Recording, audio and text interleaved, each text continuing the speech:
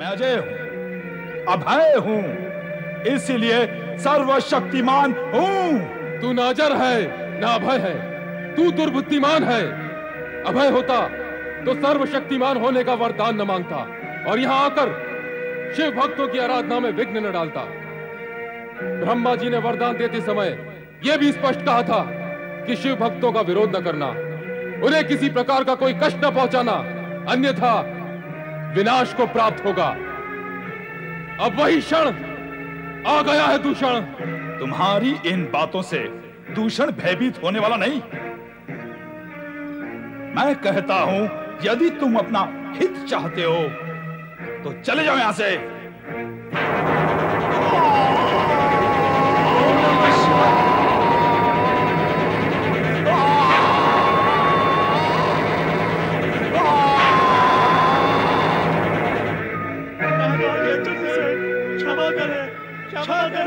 क्षमा करें हमें ज्ञान नहीं था कि आप शिव भक्त हैं। हमें नहीं पता था कि स्वयं शिव आपकी रक्षा करते हैं। हमसे भयंकर भूल हुई है राजा चंद्रसेन। जब तक आप हमें क्षमा नहीं करेंगे ये हनुमान जी की गदा हमें दंडित करती ही रहेगी।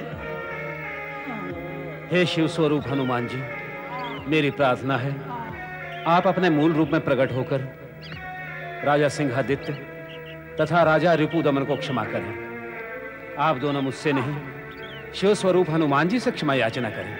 हे शिव स्वरूप हनुमान जी, कृपा कर प्रकट होकर हमें दर्शन दे और इन क्षमा याचकों को क्षमादान दे।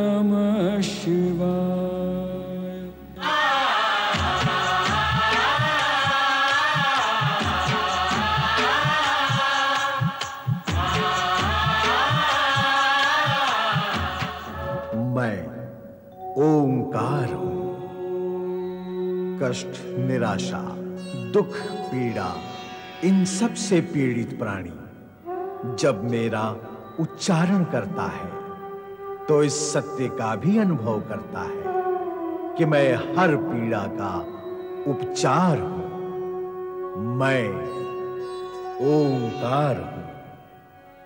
कार्तिकेय तो अपने मयूर द्वारा अगस्त ऋषि के आश्रम में पहुँच जाते हैं और उधर कैलाश पर नंदी व गणेश उनकी प्रतीक्षा करते हैं। शिव पार्वती भी पुत्रों के व्यवहार से प्रसन्न है। कार्तिकेय लौटते हैं। दोनों भाई शिव पार्वती के पास आते हैं। नारद भी प्रसन्न है। दोनों के विवाह की चर्चा चलने पर कार्तिकेय विवाह न करने का निर्णय सुनाकर शिव भक्ति का प्रचार करने का अपना संकल्प दोहराते हैं।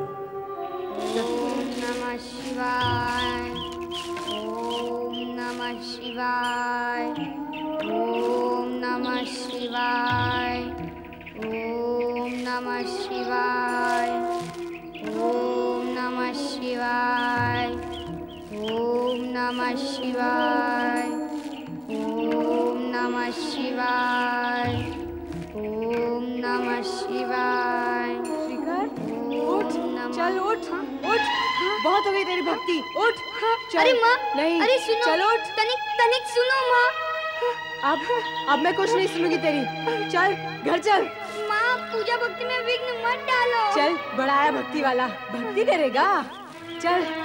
माँ माँ माँ तुम्हें पाप लगेगा माँ। लगने दे।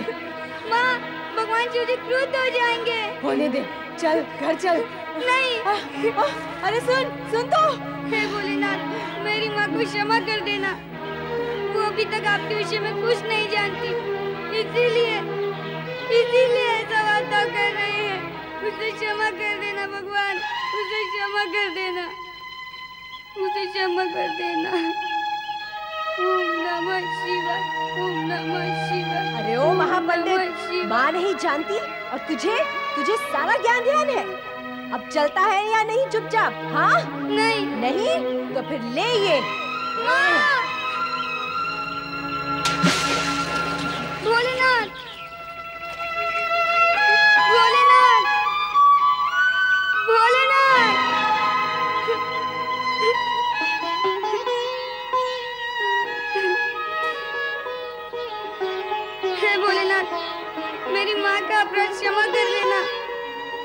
उसे क्षमा कर देना प्रभु। तो? तू नहीं चलेगा? नहीं। नहीं? नहीं। मैं भगवान शिव को प्रसन्न किए बिना नहीं आऊँगा। ओम नमः शिवाय। ओम नमः शिवाय। ओम नमः शिवाय। ओम नमः शिवाय। ओम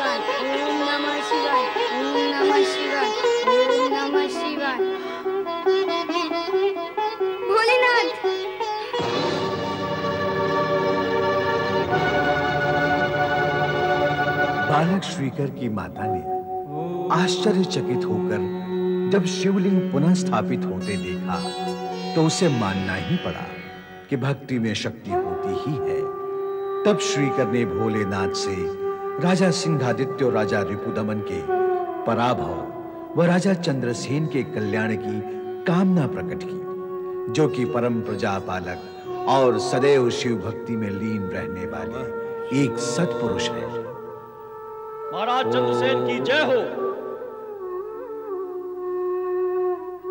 महाराज, राजा सिंहदित और राजा रिपुदमन ने हमारी उज्जैन नगरी को चारों तरफ़ से घेर लिया है। हमारे सेनापति सेना के साथ उनका सामना कर रहे हैं, महाराज। जैसी भोलेनाथ की इच्छा। ओम नमः शिवाय, ओम नमः शिवाय, ओम नमः शिवाय। हमारे लिए क्या आज्ञा है पिताश्री? वही मैं सोच रहा हूँ कि ऐसी स्थिति में हमें क्या करना चाहिए? सिंहदित्य और रिपु धवन की सेनाओं ने हमारी उज्जैन नगरी को चारों ओर से घेर लिया है। वे नगर पर आक्रमण कर राजा चंद्रसेन को बंदी बनाकर यहाँ अपना अधिकार स्थापित करना चाहते हैं। हम ऐसा नहीं होने देंगे। हम शत्रु से युद्ध करेंगे। यद्यपि हम ब्राह्मण हैं किंतु अपनी जन्मभूमि की रक्षा के लिए हम युद्ध करेंगे। हाँ पिताश्री। हमें युद्ध करना ही होगा। पुत्रों, राजा और राज्य के प्रति तुम्हारी पवित्र भावना से मैं प्रसन्न हूँ। मुझे गर्व है। किंतु यह समय भावना के वेग में बहने का नहीं है। हम ब्राह्मण हैं। युद्ध करने की कला और कौशल से सर्वथा अनभिज्ञ। अस्त्र शस्त्र हम चलाना नहीं जानते हैं। ऐसी स्थिति में युद्ध का विचार आत्महत्या के समान है। तो फिर हमें क्या करना चाहिए? करना तो राजा चंद्रसेन को था। उन्हें क्या करना था? युद्ध करना चाहिए था। किंतु वे तो इस विकट स्थिति में भी शिव आराधना में बैठे हैं। पुत्र देवप्रिय शिव की आराधना में बैठना क्या अनुचित है? इस समय इस घोर संकट के समय ऐसे समय जब राज को शत्रुओं ने चारों ओर से घेर लिया है किसी भी समय आक्रमण हो सकता है। राज्य के स्वामी पूजा आराधना में बैठे हैं। घोर आश्चर्य। तो भ्राताश्री जिन्हें युद्ध करना चाहिए वे भक्ति कर रहे हैं। तो अब भक्ति करने वालों के लिए युद्ध करना आवश्यक हो गया है। हमें अपनी मातृभूमि की रक्षा करनी ही होगी। सुना नहीं? पिताश्री ने क्या कहा? हम ब्राह्मण हैं वेद पाठी हैं। हमें युद्ध करना आता ही नहीं तो हम युद्ध करेंगे कैसे? कैसी विलक्षण स्थिति है। युद्ध करने वाले राजा चंद्रसेन भक्ति करना तो जानते हैं लेकिन हम भक्ति करने वाले वेद पाठी युद्ध करना क्यों नहीं जानते? भगवान से तो प्रत्येक प्राणी जुड़ा हुआ है पुत्र। चाहे वो वेद पाठी हो या सैनिक योद्धा। इसलिए राजा चंद्रसेन योद्धा होते हुए शिव भगवान के भक्त भी हैं। पिताश्री ये भी तो सत्य है कि प्रत्येक प्राणी अपनी जन्मभूमि और अपनी मातृभूमि से जुड़ा हुआ है। धरती पर जन्म लेने के पश्चात भगवान पिता के रूप में और धरती माँ के रूप में प्राणी का लालन पोषण करते हैं। भगवान से जुड़ा हुआ होना जितना आवश्यक है, उतना ही आवश्यक है अपनी जन्मभूमि से जुड़े रहना। राजा चंद्रसेन को राज्य और प्रजा के हित में इस समय शिव आराधना की नहीं, युद्ध की तैयारियाँ करनी चाहिए। पुत्र, किसको क्या करना चाहिए, इस तर्क में ना उलझकर हमें अपना कर्तव्य पालन करना चाहिए। पर इतना अवश्य मान लो कि भगवान शिव की आराधना करने वाले राजा चंद्रसेन की रक्षा स्वयं भगवान शिव करेंगे। यदि स्थिति ऐसी है तो फिर हमें चिंता और तर्क वितर्क करने की क्या आवश्यकता है? तुम अपने कर्तव्य से विमुख होने की चेष्टा मत करो पुत्र। अब हमारे लिए कौन सा कर्तव्य शेष रहता है पिताश्री? कर्तव्य तो अब राजा चंद्रसेन को पूर्ण करना है। आयु बढ़ते ही तुम स्वयं को महाबुद्धिमान समझकर तर्क को तर्क करने लगे हो? ये भूल जाते हो कि आयु और ज्ञान में तुम्हारे पिता तुमसे बड़े हैं? और ये भी भूल बैठे हो कि सीमा और मर्यादा का उल्लंघन तुम्हें ऊपर नहीं नीचे ले जाएगा पुत्र। जहाँ से ऊपर उठना कठिन ही नहीं असंभव भी होता है। क्षमा करें पिताश्री। ऐसा कुछ अनुचित तो हमने नहीं कहा। कहा क्यों नहीं? आज तुम राजा चंद्रसेन को कर्तव्य का पाठ पढ़ा रहे हो। कल को मुझे भी पढ़ा सकते हो। नहीं कदापि नहीं। हम चारों भाई आपकी आज्ञा में हैं और सदा रहेंगे। प्रश्न कर्तव्य का उठा था इसलिए मैंने राजा चंद्रसेन की चर्चा की। सीमा और मर्यादा का उल्लंघन करने का मेरा अभिप्राय नहीं था। मैं क्षमा प्रार्थी हूँ पिताश्री। अब हमें आज्ञा करें हमें क्या करना होगा? अपने राजा का अनुसरण करना होगा। इस संकट की घड़ी में राजा के साथ साथ प्रजा को भी शिव आराधना करनी होगी। शिव कृपा प्राप्ति का यही एकमात्र उपाय है। शत्रु एक नहीं दो दो हैं और अत्यंत बलशाली भी। उन्हें युद्ध में परास्त करना असंभव है। केवल शिव कृपा से ही शत्रु का विनाश संभव है। अब उज्जैन नगरी की रक्षा। भगवान शिव के वश में है। तो क्या अब हम सब मिलकर भगवान शिव की आराधना आरंभ करें? वही करना होगा। हम सब नदी के तट पर चलेंगे वही शिव आराधना करेंगे ओम नमः शिवाय ओम नमः शिवाय ओम नमः शिवाय ओम नमः शिवाय ओम नमः शिवाय ओम नमः शिवाय ओम नमः शिवाय ओम नमः शिवाय ओम नमः शिवाय ओम नमः शिवाय ओम नमः शिवाय ओम नमः शिवाय ओम नमः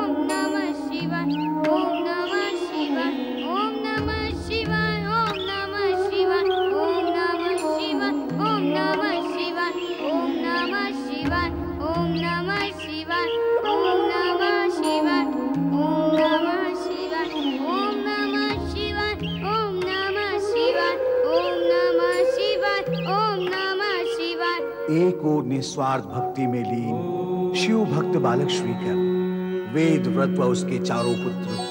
भोलेनाथ के दर्शनार्थ संलग्न है। तो दूसरी ओर स्वार्थ की भावना के वशीभूत होकर राक्षस दूषण ब्रह्मदेव को प्रसन्न करने का प्रयास कर रहा है।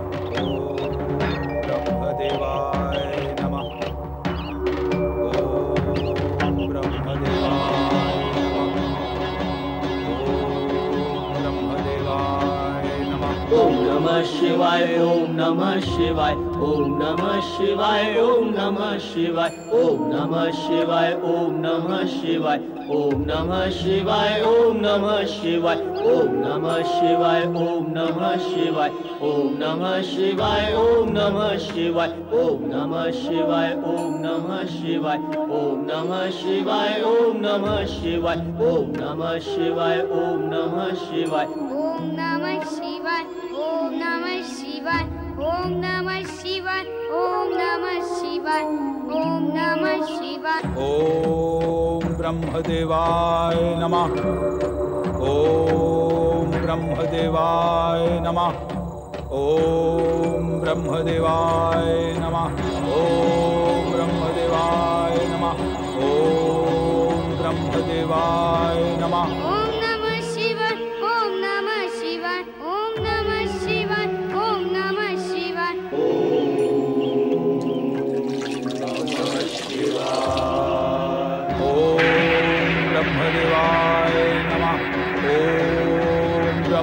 ब्रह्मदेवाय नमः।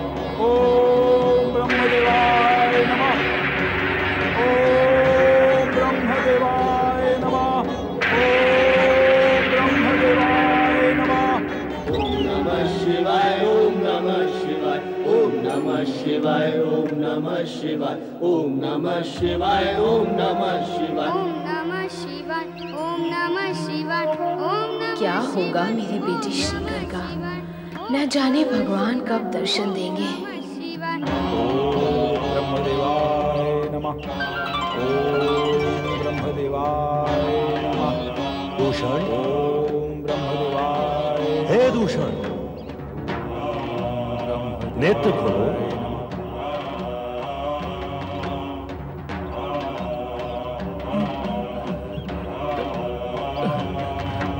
दूषण। हम तुम्हारी तपस्या से अति प्रसन्न हैं। ब्रह्मदेव मैं आपको प्रसन्न करने के लिए ही तो तपस्या कर रहा था। अब वरदान मांग लू जो मांगना है। अवश्य। मैं जो चाहूँगा वही वरदान देंगे ना आप? हाँ दूषण। अवश्य देंगे। तो फिर मुझे सर्वशक्तिमान होने का वरदान दीजिए ब्रह्मदेव। सर्वशक्तिमान तो त्रिदेव है दूषण। तुम कैसे सर्वशक्तिमान हो सकते हो? वो सब मैं नहीं जानता ब्रह्मदेव। मुझे मन चाह वरदान मांगने और देने का वचन दिया गया है। अब तो जो मैं मांगूँगा आपको वही देना होगा। ठीक है। किंतु इतना भी जान लो कि शिव अथवा शिव भक्तों के सामने तुम्हारी शक्ति कार्य नहीं करेगी। यदि तुमने शिव अथवा शिव भक्तों की शक्ति से टकराने का प्रयत्न किया तो तुम अकाल मृत्यु को प्राप्त होगे। वो सब देखा जाएगा ब्रह्मदेव। आप वरदान तो दें। कि मैं सर्वशक्तिमान हूँ। कहा है तो वरदान अवश्य मिलेगा। किंतु मैं तुम्हें पुनः सावधान करना चाहता हूँ कि इस वरदान का दुरुपयोग मत करना। ब्रह्मदेव दुरुपयोग और सदुपयोग ज्ञानी ध्यानियों की भाषा है। भौतिक जीवन जीने वालों को उपयोग शब्द ही सही है। नहीं दूषण ऐसा नहीं है। सभी प्राणियों के हित में रचनात्मक कार्य करने को सदुपयोगिता और विनाशात्मक कार्य करने को दुरुपयोगिता कहते हैं। सदुपयोगी कार्य करने से जीवन सफल हो जाता है और दुरुपयोगी कार्य करने से जीवन की दुर्गति हो जाती है। ब्रह्मदेव, मैं यहाँ वरदान लेने आया हूँ और आप वरदान देने आए हैं। प्रवचन सुनने न मैं आया हूँ, ना आप सुनाने आए हैं। और ये जो आप रचनात्मक कार्य और सदुपयोगिता की चर्चा कर रहे हैं, इसके लिए आप देवगण हैं तो रचनात्मक कार्य के अतिरिक्त आपको करना ही क्या है? विनाश और दुर्गति की चिंता को त्याग कर आप मुझे वरदान दें। वरदान प्राप्ति के पूर्व ही तुम्हारी वृत्ति अहंकार से पूर्ण है। तो वरदान प्राप्त होने के पश्चात क्या गति होगी? तो क्या आप वरदान नहीं देंगे? प्रसन्न होकर आया हूँ। वचनबद्ध हूँ। इसलिए वरदान तो अवश्य दूँगा। तो फिर सर्वशक्तिमान होने का वरदान दे ब्रह्मदेव। तथास्तु। सर्वशक्तिमान होने के पश्चात अब शिव और शिव भक्त मेरे सम्मुख कहाँ टिक पाएँगे?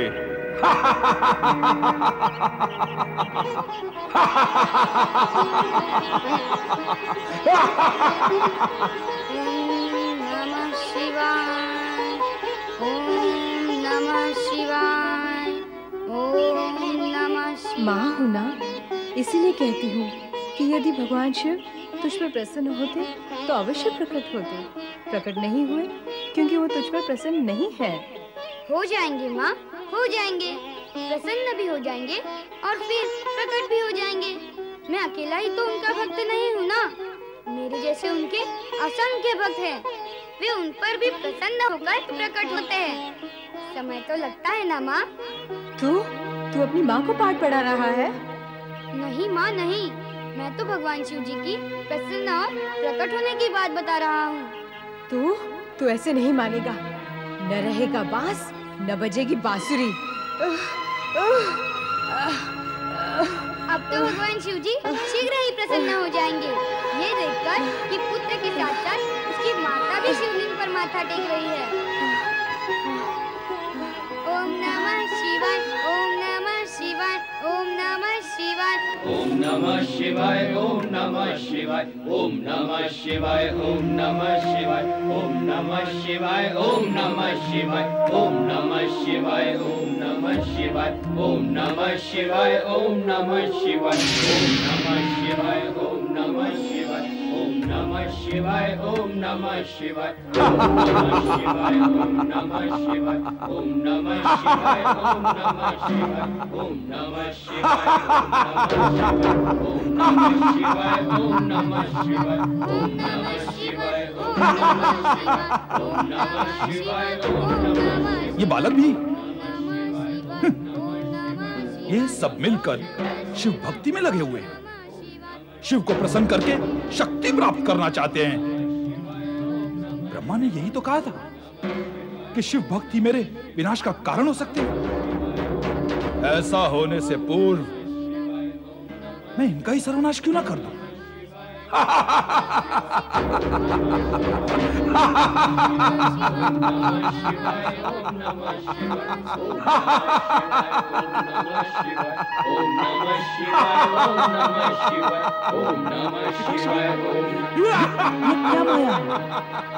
ये माया नहीं पुत्र मायावी है। मुझे तो ये शत्रु राजाओं की कोई रणनीति प्रतीत होती है। शत्रु राजा क्या आकाश गमन भी कर सकते हैं? नहीं ये तो स्पष्ट दिखाई दे रहा है। कोई मायावी राक्षस है।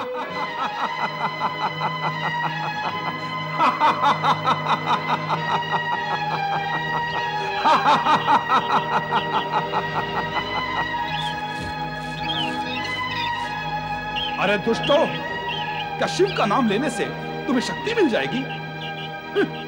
यदि मिल भी गई तो होगा क्या? हम तो अपने राजा और राज्य की रक्षा के लिए शिव नाम का जाप कर रहे हैं। ए शिव भक्त यह सत्य भाषण करेगा ना? तो मैं सब कुछ नष्ट भ्रष्ट कर दूँगा। भगवान शिव की शरण में आए हुए हम लोग असत्य भाषण क्यों करेंगे? अरे शिव भक्तों फिर तुमने शिव का नाम लिया तो इसका परिणाम भी भुगतना पड़ेगा। हाँ। पिताश्री हम सभी शिव नाम का जाप करके भगवान से प्रार्थना कर रहे थे। कि वो हमारी और हमारे राज्य की रक्षा करें। किंतु सुब्रत भगवान शिव के प्रति तुम्हारी श्रद्धा भक्ति इतनी दुर्बल है कि एक राक्षस की विकरालता के आगे टूट गई।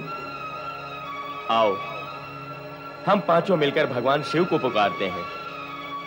हे देवाधिदेव, हे देवों में परम देव देवेश्वर, हे भोलेनाथ, दया करो प्रभु, रक्षा करो भगवान, शरणागत को उभारो मेरे प्रभु।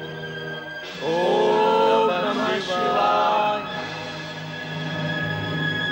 चलो इन्हें महाराज के पास। महाराजा रिपुदमन तो की महाराजा सिंहदित्य की। महाराजा रिपुदमन तो की। महाराजा सिंहदित्य की। महाराजा रिपुदमन तो की। महाराजा सिंहदित्य की। महाराजा रिपुदमन की।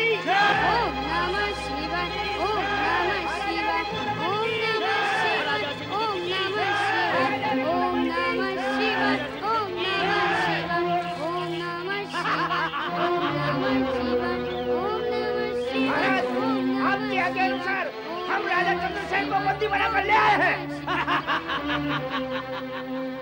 ये देखो हमारे शत्रु राजा चंद्रसेन को बंदी बना लिया गया है। हे भोलेनाथ हे शिव शंकर हमारे राजा जी तो आपके परम भक्त हैं। उनकी रक्षा करना उनकी रक्षा करना। ओम नमः शिवाय हमारे शत्रु चंद्रसेन का वध कर दो। क्यों क्या महाराज। नहीं ठहरो हमारे राजा चंद्रसेन का वध मत करो। यदि वध करना ही है तो पहले मेरा वध कर डालो। इन दोनों का वध कर डालो। भोलेनाथ भोलेनाथ भोलेनाथ। रुद्रावतार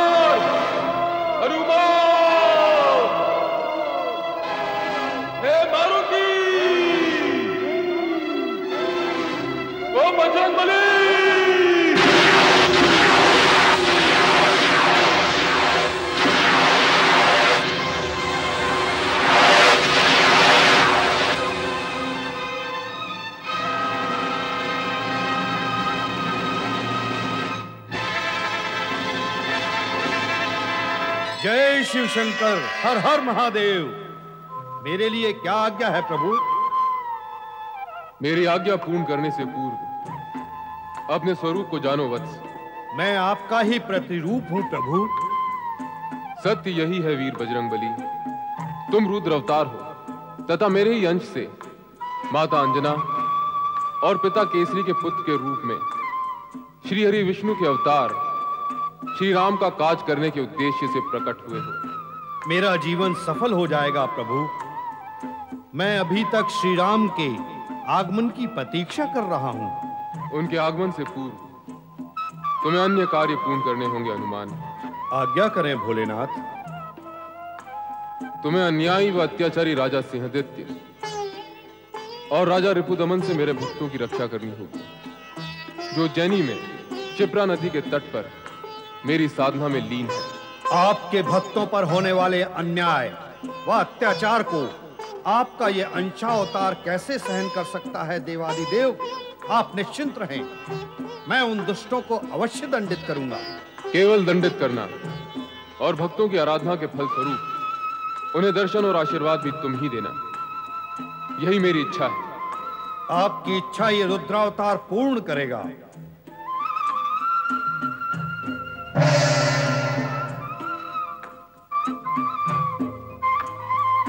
हर हर महादेव।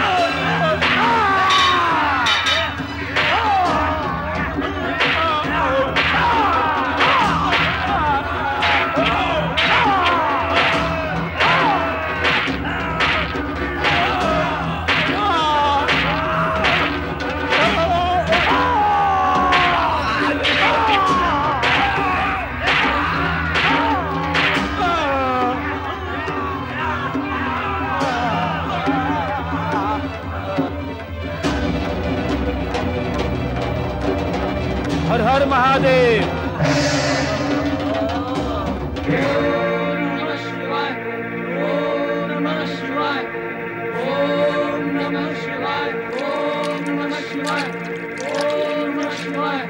तो तुम शिव भक्ति करोगे? शिव शक्ति बढ़ाओगे? मेरे लिए बाधा उत्पन्न करोगे? मैं ऐसा नहीं होने दूँगा। मैं सबको नष्ट भ्रष्ट कर दूँगा। सबको। किसने रोका मुझे? कौन है मेरा अवरोधक?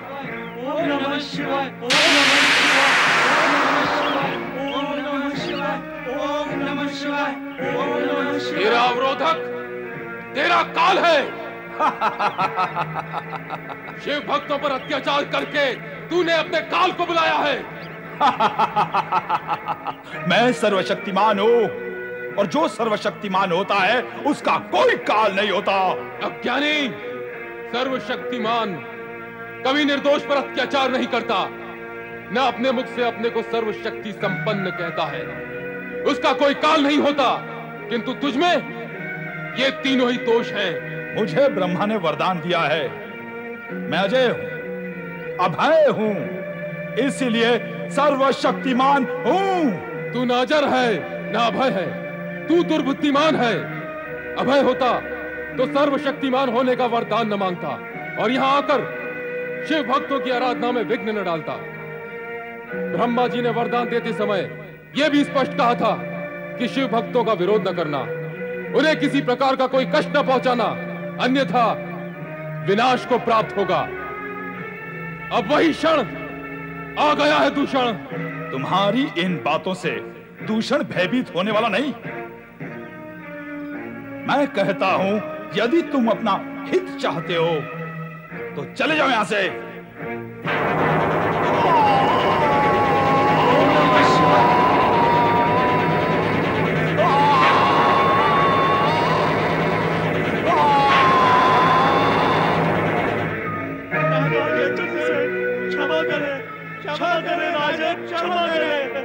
हमें ज्ञान नहीं था कि आप शिव भक्त हैं। हमें नहीं पता था कि स्वयं शिव आपकी रक्षा करते हैं। हमसे भयंकर भूल हुई है राजा चंद्रसेन। जब तक आप हमें क्षमा नहीं करेंगे ये हनुमान जी की गदा हमें दंडित करती ही रहेगी। हे शिव स्वरूप हनुमान जी मेरी प्रार्थना है आप अपने मूल रूप में प्रकट होकर राजा सिंहादित्य तथा राजा रिपु दमन को क्षमा करें। आप दोनों मुझसे नहीं शिव स्वरूप हनुमान जी से क्षमा याचना करें। हे शिव स्वरूप हनुमान जी कृपा कर प्रकट होकर हमें दर्शन दे और इन क्षमा याचकों को क्षमादान दे।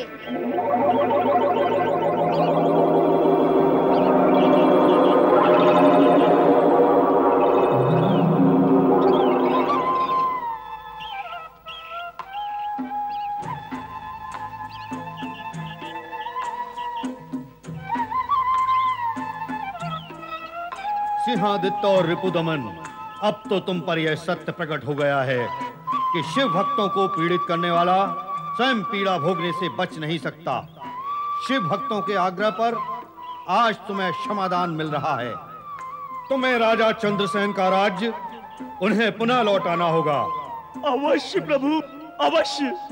राजा चंद्रसेन के राज्य पर इनका ही अधिकार होगा और भविष्य में ऐसी कभी भूल नहीं होगी। नहीं होगी प्रभु। नहीं होगी। परिणाम पर ध्यान रहे तो भूल नहीं होगी। देखो इन दोनों शिव भक्तों को। स्वयं भगवान शिव को इनकी रक्षा की चिंता रहती है। ये तो भगवान शिव की कृपा है। ये कृपा तुम्हारी भक्ति के कारण है। तुम दोनों शिव भक्त शिव को मानते हो तो वो तुम्हें मानते हैं। तुम दोनों का नाम शिव भक्तों में सदा अमर रहेगा। तथा महाकालेश्वर ज्योतिर्लिंग की महिमा में तुम्हारे नाम से वृद्धि होगी। हे शिव स्वरूप हनुमान जी आपने इन दोनों को क्षमादान दिया। आप कृपा कर मुझे भी क्षमा करें। मैंने भी अपने पुत्र श्रीकर की शिव भक्ति में विघ्न डालने की भूल की है। तुम्हारे पुत्र श्रीकर की शिव भक्ति में तुम्हारी भूल समाकर विलीन हो गई है।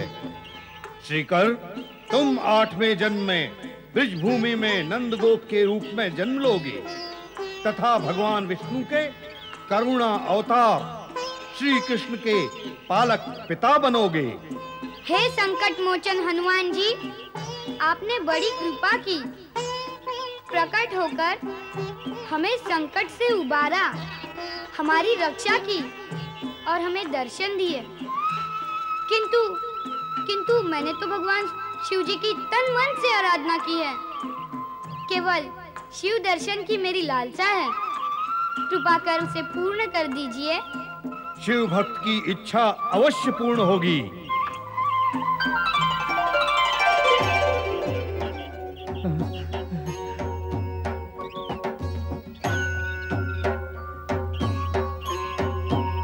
जय भोलेनाथ। भगवान भोलेनाथ की। जय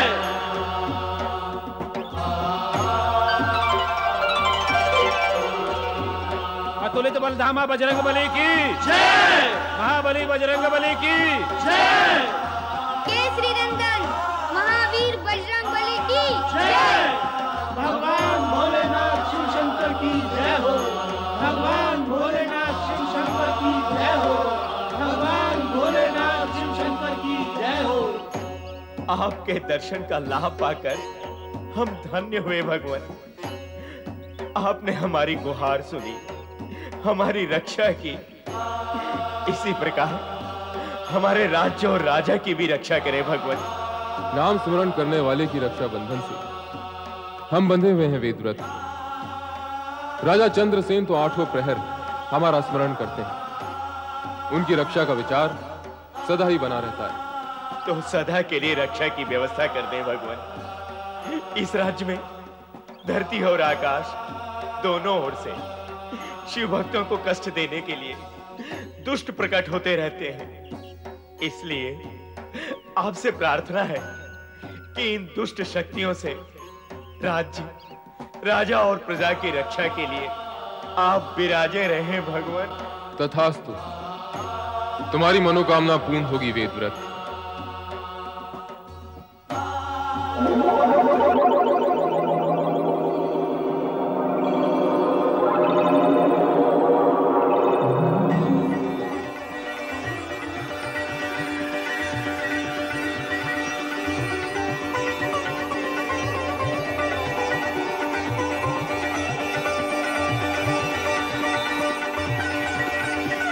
ज्योतिर्लिंग, महाकालेश्वर ज्योतिर्लिंग के नाम से जाना जाएगा। जो भी भक्त शव भस्म से इस ज्योतिर्लिंग की पूजा करेगा, वो मृत्यु के भय से मुक्त होगा। जगत के समस्त रोग, पीड़ा और व्याधि से भी मुक्त होगा।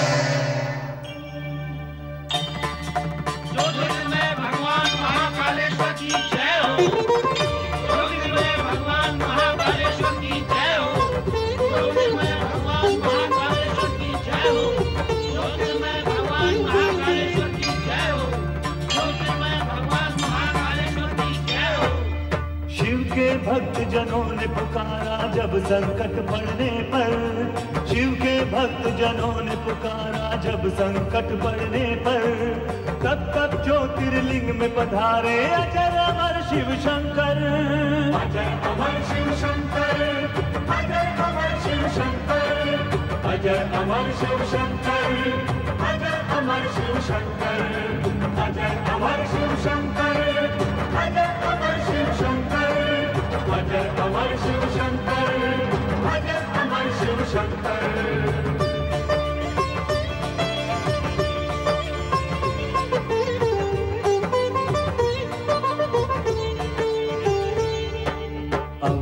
नगर में वित्तीय नामक रहता था एक ब्राह्मण। घर में अग्नि के घर की स्थापना करता था शिव पूजन। एक बार एक दैत्यासुर ने नाम था जिसका दूषण। अपनी सेना लेकर उसने किया उस पे आक्रमण। उसी समय शिवलिंग से प्रकटे शिव शंकर बन के महाकाल। दूषण असुर को सेना सहित तब भस्म किया तत्काल। उस उज्जैन नगर में बना है ज्योतिर्लिंग महाकालेश्वर। जो इनके दर्शन है, करता शिव कृपा होती उस पर। महाकाल शिव की जय हो।